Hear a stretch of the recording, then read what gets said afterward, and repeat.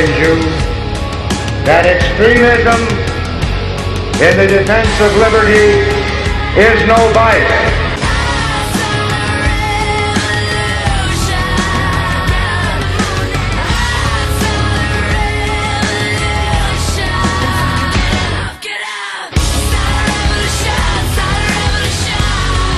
America's Evil Genius, Travis Cook here with, I suppose, my official State of the Union response. I, I kind of figured that this year, since everybody else is doing an official State of the Union response, I might as well do one too. So I wanted to quickly get this thing out here, audio only, uh, for the, the sake of time here. And just to give you a lay of the land of what I'm doing here, I am taping this response immediately following the end of Obama's speech. Uh, I have not heard any of the pundits or the talking heads analyze this thing yet. I have not heard uh, Marco Rubio's response or Rand Paul's response. I hope to hear both of those later tonight. Instead, I wanted to give you my absolute gut reaction to what I've just heard without any sort of uh, of influence from anybody else. I wanted to give this to you just just as I interpreted, just as I saw it. And then, uh, of course, I'll partake of the analysis and so forth later. I know there are some saying that uh, Rubio's response and Paul's response are likely to, to, to be in conflict within the GOP. I doubt that'll be the case. I think that it just shows that we have a lot of different opinions in the GOP right now on the American right, and that truly we are the uh, the big tent in American politics right now, not the other side. But that's neither here nor there. Uh, I, I promised myself because I was aware that most of this speech would deal with the economy, that I was going to focus on the economic end of things in my response. Uh, Sure, I, there's there's a number of things I could go off on Obama about across the board on this thing, but if we did that on every single thing that raised my blood pressure tonight, well, this response would go on for five or six hours, and neither one of us want that. So I'm going to hold fast to the economic end of this speech here tonight. Uh, as tempting as it is to go into the whole gun control thing he did at the end and return his speech into a Sally Struthers commercial was absolutely disgusting. Uh, and almost made me want to throw a few things in the TV, but uh, that part I found particularly disgusting. And okay, I, I, will say this about the gun control side, and then I'll, I'll get off of it. I will say this much: with all of your talk about so-called sensible legislation and limits and so on and so forth, I would like to know uh, just how you think all of those people down there in Southern California who, for the last several days, have had to live in fear of one of your supporters, Christopher Dorner, uh, who's been on a serial killing rampage. Just how would just how would so-called sensible gun limits have made those people more safe while that idiot was running around, uh, running around on the loose for the last few days? Thankfully, it sounds like he's been taken out now. But one of your supporters was out there terrorizing Southern California, and I, I would be interested to know how so-called sensible uh, gun limits and, and banning so-called assault rifles would have made those law-abiding citizens any more secure with your supporter, Christopher Dorner, running around shooting people will. Okay. I will leave the gun control part of this alone. I promised myself I would. Let's go back to the economic side of this. On the economic end, what was presented to us tonight by Mr. Obama was a very grandiose, very large encompassing notion of government involvement to spur the economy. We heard Obama make mention of a lot of different things tonight, such as more investment in, in green jobs. Which makes me think if green jobs are such a good investment, why wouldn't the private sector be doing it? And, and before you just dismiss that, think it through. If green jobs are such a good investment, then the, the potential rate of return on investment would be high. If the rate of return on investment is high, potentially, yeah, the private sector would do it. If the private sector is not doing it, what does that tell you? It tells you that most likely it is a bad investment, that the demand is not there for it. And yet he wants to take my tax dollars and invest in that. He wants to take my tax dollars and your tax dollars and make a bad fiscal investment something that has a low likelihood of a rate of return. Now, how does that make sense? Well, when you and I think about it, it really doesn't. But yet, that's what he's advocating. Oh, he wants green jobs. He wants to raise the minimum wage, raise the federal minimum wage. Which I know sounds good if you don't think it through. But take it to that next step. How does raising the minimum wage better enable us to compete with companies overseas that are hiring and, and competing for our jobs, which is easier to do now than it's ever been because of technology. Because you can now have, let's say, a, a call center in India or wherever, and you don't have to build it here. And if we raise our minimum wage, do you think the rest of the world is going to keep up? Heavens no, they're going to take advantage of it. Oh, but he thinks raising the minimum wage is the pathway to prosperity, which is to say, raising the cost of doing business in America is the pathway to prosperity. Oh, but he didn't stop there. He he's claiming that absolutely none of this will increase the deficit. I will believe it when I see it. But one of the justifications he had for that was continued talk, as we've heard for four years plus, of continuing to soak the wealthiest Americans, or as he referred to them at one point, the most well connected Americans, as though accomplishment has nothing to do with their wealth. He called them well connected, not most accomplished. But he wants to soak those Americans with yet even more tax increases. And there again, I ask you, when you are taxing the wealthy, who are already being taxed at an unfairly high rate to begin with, and now you want to tax them more, and now you want to charge higher minimum wage. How on earth could you logically expect them to invest money in this nation? How on earth could you expect them to invest in factories and businesses and job creation here on anything but the most obvious and sure bets? The, the most sure propositions would be all they would invest in. They would not take chances. They would not take risks. And our nation, our economy, all economies actually are built on the concept of taking risk. You take that out of the equation, you cannot grow an economy. And then Obama turned to the ideas of rebuilding our infrastructure, rebuilding our bridges, rebuilding all of those things, and using that as a mechanism for increasing employment, using that as a mechanism for reducing unemployment. And it struck me as I heard that particular portion of the speech that I think I've heard this somewhere before. Now, granted, a lot of people that I was following on social media during the speech, they they mentioned something similar. They said, "Hey, this State of the Union address sounds like the last four State of the Union addresses." I, I suppose it did. Some of them said that it sounded like many of his campaign speeches. Well, again, I suppose it did. But I'm going back much further than this. The things I'm hearing from Barack Obama tonight, particularly when it comes to the economy, seems to me to have an awful lot in common with some of the things that Franklin Delano Roosevelt said back in the 1930s. This seems awfully similar to the New Deal. Now, some of you who are criticizing me are out there right now saying, well, we need a New Deal. We need a new New Deal, if you will. That worked so well the first time.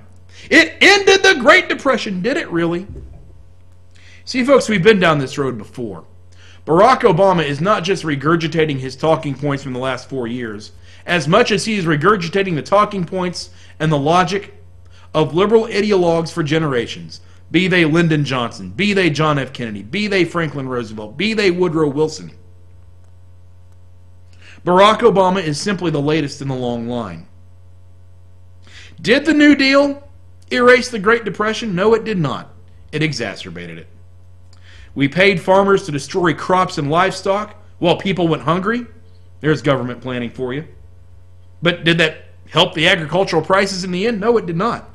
By the close of the 1930s, agricultural prices were only four fifths of what the of what their levels were in 1929. So all that government interference to go down a step. In spite of all of that tinkering by the government.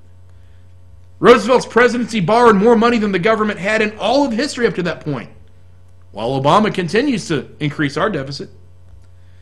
FDR's New Deal took us from the surpluses of Harding and Coolidge to, for the first significant time in history, a situation where debt started to go into the political lexicon and be talked about as we are talking about it today. It seems that Obama learned his lessons well. As for unemployment, high unemployment usually hovering around a fifth of the workforce, stayed fairly consistent through the first two terms of FDR's presidency, about nine years, right up until Pearl Harbor and World War II. So that unemployment was not solved by the New Deal. World War II solved it.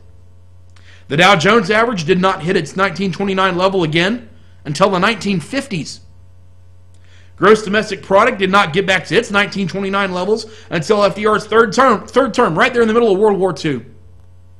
Now, I'm at the risk of boring you with a bunch of statistics, just to make a point. We have gone down this road of attempting to assuage unemployment by government interference before, and it failed miserably every time we've tried it. We've tried to eradicate poverty in the past, the way that Obama hinted at tonight. Lyndon Johnson tried to eradicate poverty. It was called the Great Society. Our cities are still war zones as a result. While Barack Obama is trying to tell you he's advocating something new, he is doing anything but. He is advocating the same tired old ideas that have failed many times in the past, in, in a time that has slightly different challenges and, and different specifics. He is advocating the same tired ideas and just repackaging them. And yes, just like practically every liberal before him, Barack Obama tonight tried to make the case that education and our spending on education is a key to our economic prosperity. That if we just spent more money on education and in a more intelligent way, that would be our road to fiscal nirvana. Sounds good, doesn't it? But let's think that one through. We are, at this point in time, putting our children, our younger generations, through more hours of schooling than any generation prior to them. We are spending more on education, money wise, now than we ever have. In the year of 2008 and 2009, we spent $610 billion plus on education. And if you adjust those numbers for inflation, spending on education per capita has risen over 200% since the 1970s and over 500% since the 1960s. And during that time period, of course, you had the feds taking over education. So we are spending more money on education than we ever have. We are giving our children more hours in a classroom than they have ever had in previous generations. We have, I would suspect, far more, uh, far more students and young people graduating high school or being exposed to some high school at the very least than we had in, in previous generations more kids attending college and some even graduating than we've had in previous generations, and yet we are still in this financial pickle. And yet we have had far stronger economies during times when we spent far less on education, when far fewer people had far fewer hours in the classroom than they have today. So that idea, that logic makes no sense either. Now, don't get me wrong, I have no problem with looking at ways to spend our education money more intelligently. Obama tonight talked about redesigning our high schools to produce graduates that are more ready for the workforce. Well, I like that idea, but it strikes me that the government is probably the worst possible entity to try to do that. I would think the private sector could do that so much more better. Or getting the business community involved. They would do it so much better. After all, who better to tell you what employers need out of graduates than employers themselves. How can the government do that? They're disconnected from the process. I would maintain to you that I would think, given the quality of education we've had in our past, way in our past, when we did not have federal control over it, when we spent far less money on it, I believe we can manage our schools far more intelligently and we can educate our students far more efficiently and for far cheaper than we do today and produce far more ready students for the workforce. I believe we can do that, and I believe we don't need a government to do it, at least at the federal level. But that's not what Obama thinks. Obama's answers throughout this entire speech were nothing more than tax the rich and have the government spend money on something, anything, and hope that it gives someone a job. Ignoring the past failures of such logic, some of which we are still enduring today. You want to know why we're in debt up to our eyeballs? It's because of the entitlement spending of the FDR years. It's because of Social Security, Medicare, and Medicaid. Not because of the wars, as some would tell you. Entitlement spending is over 60% of our budget. Military spending is under 20%. That's the 800 pound gorilla in the room. But yet, Obama said at one point tonight that cutting Medicare to save the military is, is not a good idea. Sounds to me like he's got his numbers reversed if he understands them at all. What's the old phrase? Second verse, same as the worst, a little bit louder and a whole lot worse. That's exactly what this is. And for a guy who claims that he wants Congress to come together and get behind some of these ideas, these are mostly asinine ideas that no Congress should get behind, that no Republican should get behind. Were there some minor things in what he said tonight that could appease some Republicans? Sure, there were. But that that small olive branch to entice you to then get beaten by the Billy Club, that's not worth it. That is not worth it at all. If this speech was designed to bring about unity and cooperation in Washington, which I do not believe that it was, although it was positioned that way. If that's what this speech was about, then it failed miserably.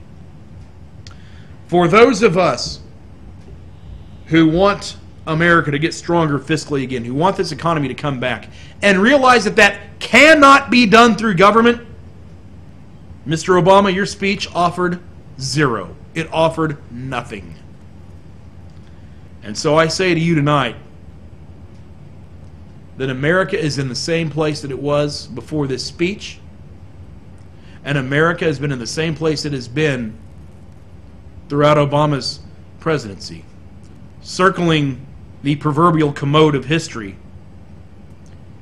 and fighting for dear life not to go down the pipe.